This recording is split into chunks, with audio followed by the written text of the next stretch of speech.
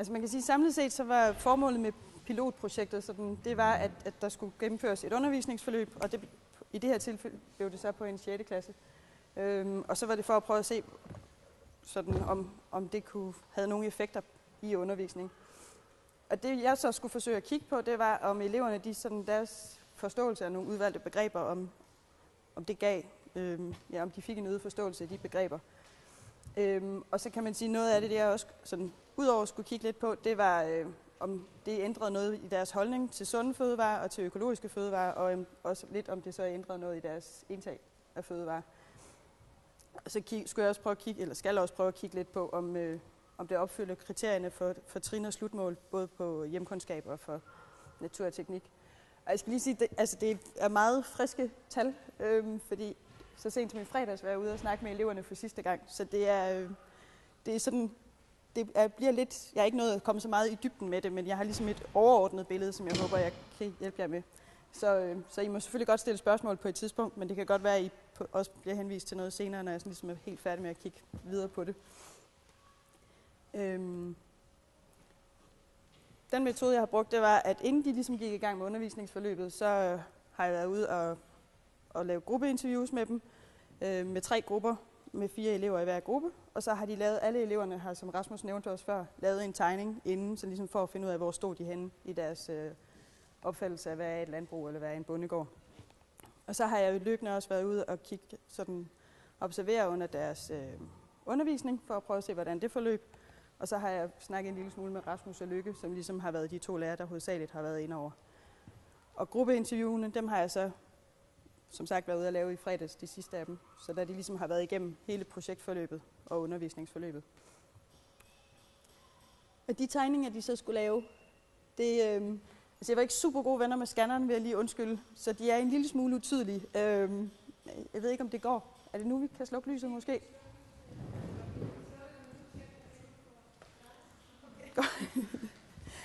øhm, men, men som man måske kan se, så er det sådan lidt, der er en mark med en masse korn, og der er både grise, og der er heste, og der er høns, og der er køer, og der er træer. Øhm, og der er et andet eksempel her, øhm, med lidt flere farver, lidt det må jeg se måske, men hvor der også er mange forskellige ting. Man kan sige, det der sådan, øhm, det der, gå lige tilbage. Det, der sådan var meget typisk, som Rasmus også nævnte, for, for alle de tegninger, der ligesom blev lavet, det var, at det var sådan nogle lidt måske romantiske billeder af landbrug, altså med et meget alsidigt landbrug.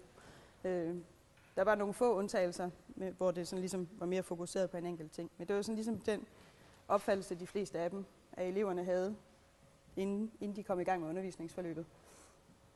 Øh, Gruppeinterviewene, dem brugte jeg så til at, sådan at få, prøve at få en idé om, øh, om elevernes forståelse af nogle af de begreber, de ligesom skulle arbejde med igennem det næste undervisningsforløb. Øhm, og der kan man sige, der jeg viser bagefter nogle af de begreber, som de ligesom skulle ind på. Og så der, det var så det samme, kan man sige, ved den første måling og ved den anden måling. Og hvor til den slutmåling har jeg også prøvet at snakke med dem lidt om, om de så har ændret vaner og holdning til nogle af de der ting. Og også om de havde nogle idéer til, undervisning, hvis den skulle gøres anderledes en anden gang. Og hvad de synes om det hele i, i det hele taget. Øhm. Der var udvalgt to sådan, naturøkologiske begreber, øh, fødekæde og kredsløb, øh, som ligesom var sådan overordnet for det hele. Og så var der så også 10 begreber, som lidt mere var koblet op på landbrug, som er grønne planters vækst og levested og føde og kunstgødning, husdyrgødning, sprøjtegift, økologisk mærke, grundvand, dyrevelfærd og ukrudtsbekæmpelse. Så man kan sige, det er ligesom ting, som jo ikke er specifikt for økologisk landbrug, men som er begreber, som bliver brugt i landbrug i det hele taget, hele med fødevareproduktionen. Øhm, og de begreber er nogle, vi ligesom udvalgt, øh, eller der blev udvalgt i samarbejde med lærerne, fordi det ligesom er dem, der skulle tilrettelægge undervisningsforløbet, så det har ikke været noget, jeg sådan har kommet og dikteret, hvad jeg ville måle på som sådan, men, men med blik på, hvad, der, hvad de sandsynligvis ville komme igennem undervisning. Øhm nogle af de ting, så, altså, jeg synes helt klart, at det viste, at de har fået en, en bedre forståelse af nogle af begreberne. For eksempel fødekæde. Øhm, til det første interview var de første svar, det var sådan et, hvad? Eller er det ikke sådan noget med at spise? Sådan lidt sundt og sådan lidt. Altså, der var generelt lidt mere vævende, øhm, tøvende svar på det, hvor de bagefter, efter hele undervisningsforløbet, havde fuldstændig styr på, hvad en fødekæde var. Øh, af alle de elever, jeg snakkede med. Og under økologimærket, der havde jeg både vist dem først øh, det europæiske ø, det nye, eller ikke europæiske ø, men det europæiske ø-mærke, øh, det grønne med, med fladet, øh, eller bladet er det vel nærmest. Og der var mange gode bud første gang på, hvad det kunne være. Det kunne være en tryllestav, det kunne være et stjerneskud, og der var også nogen, der bare slet ikke havde set den før. Men det, generelt var der ikke rigtig nogen af dem, der havde set den og kunne genkende den nogen steder fra. Øhm, men det havde de til gengæld 100% styr på anden gang, øhm, og også at det hører til mad vil sige, det røde ø, det, var, det havde de fuldstændig styr på inden også. Men jeg har så også snakket lidt med dem om, hvad, hvad økologi betyder. Noget af det, der også jeg skulle prøve at kigge lidt på, det er også, hvordan, øh, hvordan undervisningsmaterialet er udbyttet fra undervisningen, om, om det sådan, hvordan det passer ind i forhold til de trinmål og slutmål, der er sat op for både hjemkundskab og, og teknik og natur. Naturteknik hedder det vel egentlig, hvis det skal være ret. Øhm, og nogle af de ting, der sådan lige umiddelbart, hvor jeg synes, det virker som om, at, at de har rykket sig i forhold til de her trinmål, det er blandt andet det med, at læringsforløbet skal tilegne dem kundskaber og færdigheder, som gør, at de bliver bedre i stand til at handle og agere sådan i deres eget liv Og man kan sige, at i og med, at de har fået en bedre forståelse for, hvordan, hvor fødevarene kommer fra, og hvad der skal til for at producere dem, så synes jeg, at de er godt på vej til at sådan, kunne vælge til eller fra. Om det så er det ene eller det andet, det er jo op til dem. Øhm, og så også i den, det næste med fødevarenes, øh, eller en forståelse af fødevarenes vej fra bord til jord, eller omvendt selvfølgelig fra jord til bord. Og så det med at tage kritisk stilling. Og jeg vil sige, der er også, de har lavet noget evaluering på, som Rasmus nævnte, der er sådan en, hvor de kunne lave min ønskegård, som er en del af undervisningsmaterialet, hvor de ligesom kan prøve at skrive nogle, nogle ting i forhold til det undervisningsmateriale, de har været igennem, og hvor det, som hedder Min Ønskegård, og hvor der er sådan lidt, hvis de får, jeg tror, at det er 10 millioner, I fik til den der, og så kunne de så skrive, om det skal være det ene eller det andet, og hvordan gården skal dyrkes og sådan nogle ting. Og der er faktisk flere af dem, øh, som stadigvæk mener, at de vil have et almindeligt landbrug, enten fordi de ikke skulle arbejde så meget, eller fordi de vil tjene flere penge.